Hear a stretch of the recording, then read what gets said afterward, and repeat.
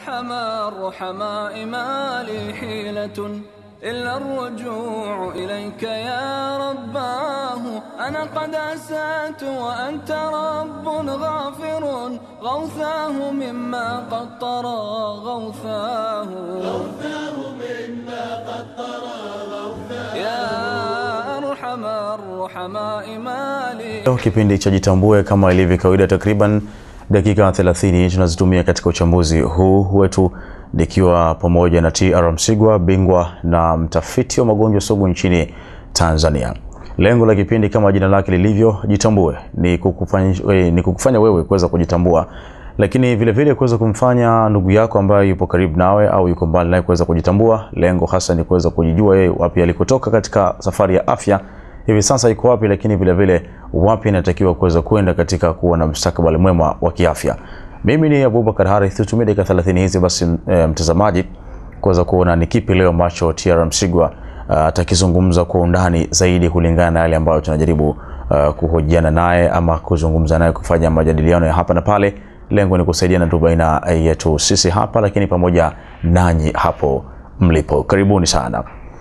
TR Msigwa, tuanzie katika swala la bawasili. Hili tatizo limekuwa nalo linashika nafasi kubwa sana hivi sasa Tanzania na, na, na hata nje ya Tanzania, na eh, tumezoea hivi sasa kusikia uh, malalamiko kwa, kwa watu wazima, watoto na, na, na vitu vingine.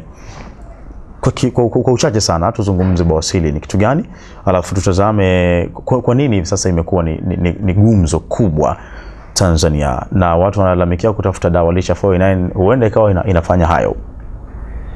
Eh, sintulijibu kwa ufasaha zaidi, lakini niseme Tanzania uh, ndio nchi ambayo naishi mimi Tanzania, lakini maradhi yamekuwa mengi, maradhi yamekuwa mengi, lakini kinachosababisha maradhi mengi ni maisha yetu yalivyo, maisha yetu yalivyo, kazi zetu zilivyo, zinatupelekea kupata maradhi tofauti tofauti, lakini kubwa zaidi hatuna utaratibu mzuri wa kuishi kutokana na hali ngumu ya maisha inayotukabili. Kwa hiyo unaweza ukajikuta unapata maradhi ambayo hujui yametokea wapi, wapi ume, umekuwa ni sababu kupata maradhi haya. Kwa hiyo unajikuta kila kitu kinakuwa na mlipuko mkubwa sana. Sukari leo ni nyingi sana, typhoid, yani hakuna ugonjwa ambao kidogo tumeudhibiti. Na bawasiri Zanzibar ni ugonjwa mkubwa mno, ugonjwa mkubwa mno. Lakini ukitizama vyakula wanakula wa Wazanzibari, asilimia kubwa ni vya chanjo. Kuna chakula chao kile urojo.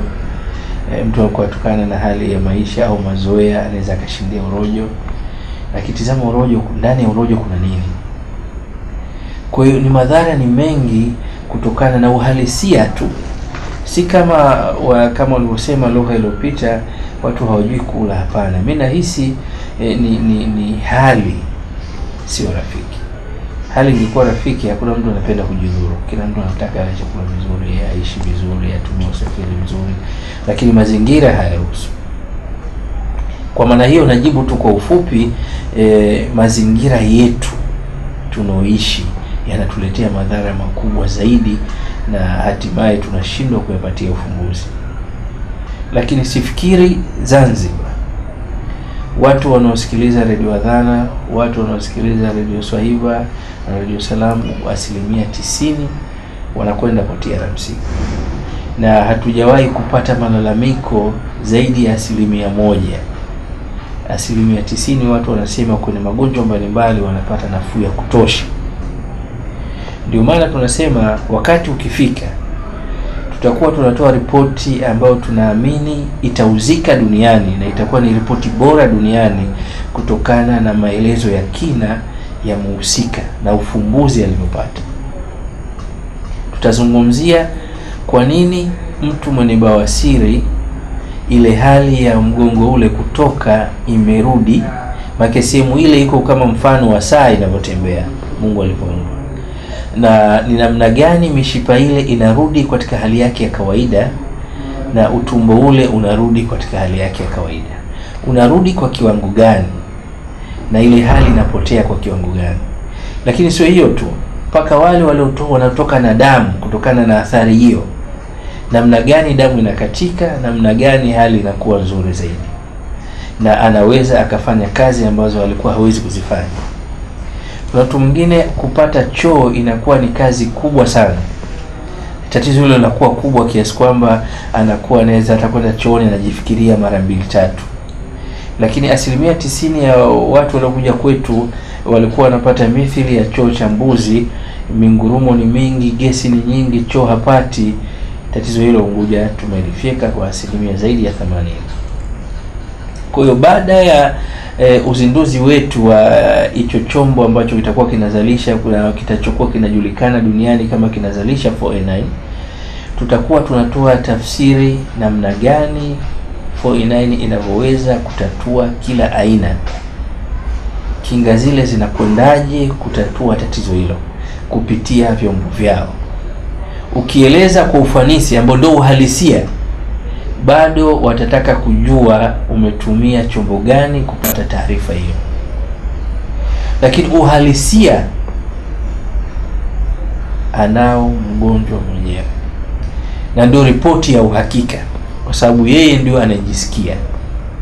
Wewe unaona tu kwenye mashine e, ikiwa asilimia hii figo lina tatizo, ikiwa asilimia hii damu ina tatizo na kadhalika lakini mgonjwa mwenyewe anajijua, mimi siwezi kutembea hapa na Forodhani, siwezi kutembea hapa na Magomeni, siwezi kutembea hapa na sehemu fulani.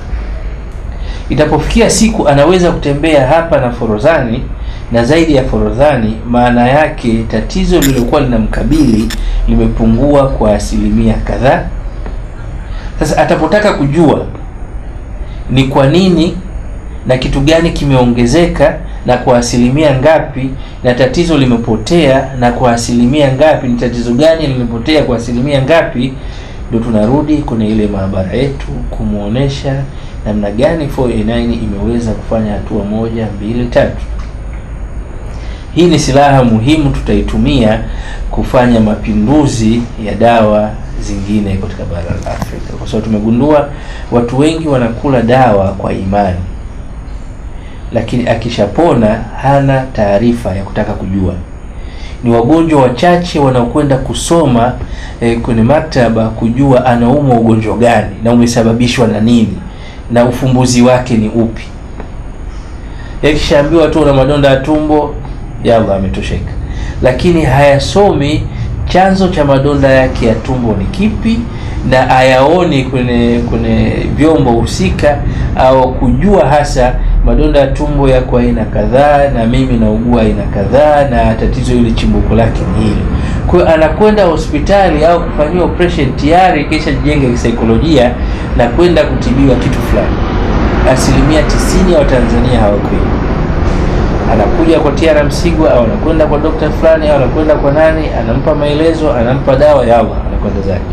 Kwa hiyo hili nalo ni tatizo kubwa ambalo tumeliona. Mifumo yetu taratibu zetu si salama zaidi.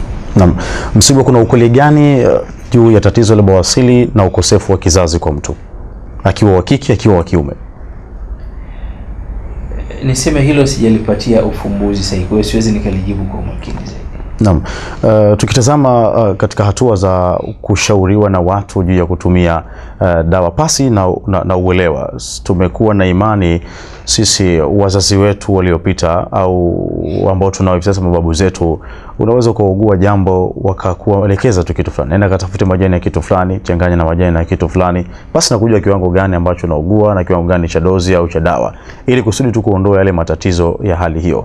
Ushauri huu ambao unatolewa na wazee na unafatwa na, na, na wahusika au wagonjwa ambao wanaugua na kutumia dawa za namna hii, kuna tatizo gani? Hilo ni swali zuri sana, lakini ni pana mno, ni pana mno, si swali dogo hilo, ni swali pana zaidi. Kwa mfano, siku moja mimi nilikuwa naenda Kigoma, nikapita Tabora, kuna kijiji fulani kilikuwa na ukame wa hali ya juu sana. Katika kijiji kile kuna mzee mmoja wa Kisukuma wa wa Kinyamwezi nafikiri, nimelikuta hilo tukio mimi, sikuhadisiwa. Nilipaki gari kwa mvua kubwa sana nikakaa naongea na wanakijiji pale, wakaniambia mzee mmoja e, wa kijiji kile alivyoona mimea imekauka na mvua zimekata kabisa, alichangisha ng'ombe mbili, dume na jike, na una vyakula fulani, wakawa wanatembea huku wanamuomba Mungu kwa mtizamo wao na imani yao. Walipomaliza ile ziara ya kwenda na wakarudi, baada ya hapo wakachinja, wakaigawa ile nyama. Wanamaliza kuchinja, ikapiga mvua, ndio mpaka leo mvua inapiga, ambayo imenikuta mimi, ambayo imeharibu mpaka gari yangu nilikuwa natembelea kwenda Kigoma. Sasa kuna vitu vingi vya kujifunza hapo. Tunakuja kwenye msingi wa swali lako. Kuna mzee mwingine anaweza akakueleza majani tu chukua jani hili nenda ka, kalifikinye kunywa, Mungu atakusaidia utapona. Na kweli ukifanya vile unapona. Hatuna uwezo wa kumuuliza mzee yule kuna siri gani baina ya kitu hichi au imani hii. Sisi tutakwenda tu kuikufurisha imani hii haifai au taratibu huu haufai, kwa sababu tu hatukubaliani nao, lakini hatuendi kwa kina kutaka kujua mzee huyu kitu gani cha ziada juu ya jambo hilo, ili tuweze kujua kitu cha namna hakuna. Ndio maana tafiti nyingi wa Afrika tunaendelea kupoteza vitu vingi, kwa sababu hatutaki kujifunza kwa kina zaidi, ili tuweze kujua. Kama nikawa najiuliza, mimi naendesha gari, najiuliza ah, sasa kama mzee huyu kafanya hivi, mvua imenyesha mpaka gari zetu zimeharibika na, na watu ambao wanakwenda sawa tungeenda undani zaidi tukajua kwa nini tusingelima mpunga wa mwaka mzima. Tunaweza tukasema tu bwana ni kafiri au ni haramu kutokana labda na imani zetu na nini, lakini tunajua kitu gani alitumia mzee huyu? Jawabu hatujui. Kwa hiyo tuna tabia ya Waafrika, tunakwenda kama upepo hatujibu vitu kwa tafiti na kwa kudadisi kwa kina. Ndio maana katika imani yangu mimi kuna tatizo moja ambalo mimi binafsi naliona. So mimi ni Muislamu, lazima nizungumzie imani yangu. E, mimi nikijua aya moja na bahati mbaya nikajua Kiarabu, si nitaona haya nikasimama mbele za watu na mimi nikachukua nafasi ya ushehe hakipo na hakifai. Jamii ya namna hii haitofika salama, kwa sababu kila mtu anataka kucheza nafasi si yake, kwa kujiona tu anajua.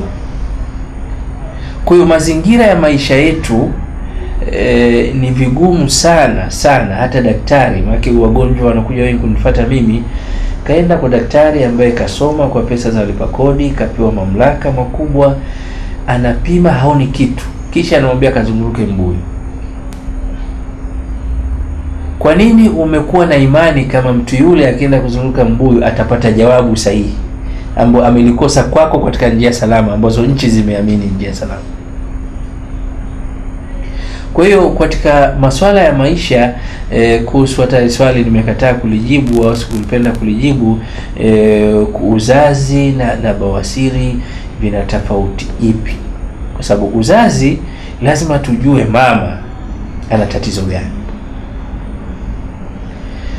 Wakina dada walio wengi wanalaumiwa, wanakosa raha na mawifi na, wahusika waume zao kwa sababu wanajaza choo tu, lakini hawatoi matunda, kwa maana hawapati mtoto, pasipo kujua mtoto kwanza ni riski ambayo Mungu kawa anakupa kama zawadi, lakini pasipo kujua tatizo liko wapi. Ni, ni, ni mirija ina tatizo au ni fuko la uzazi lina tatizo au ni mbegu za baba zina tatizo au ni mbegu za baba zikiingia pale zinaungua. Kuna mambo mengi sana unayooanisha vipi na utumbo wa bawasiri? Ni baina samai wal havikutani. Kwa hiyo eh, kuna kuna kila sababu kwanza ya kuchunguza kwa kina uhalisia wa tatizo ni nini. Sasa unapokwenda kwenye uhalisia ndio unakutana na mambo kama hayo ambayo eh, mambo mengine ukiyazungumza kwa watu wengine wanakuambia hivi vitu ni, ni haramu havipo. Sasa ni mtazamo wake na akaamini hivyo, awezi hawezi ku, ku, ku, kumbisha. Lakini kitu cha msingi ni lazima kufanya tafiti. Kwa hivyo Msigwa, tunaweza tukakubali mawazo ya wazee wetu, lakini tuende kwanza ndani, mzee pia naye amefanya kitu gani ili atupe faida zaidi. Tujue pombe ni haramu, usiishii tu pombe ni haramu. Uharamu wake umetokana na nini? Umetokana na nini?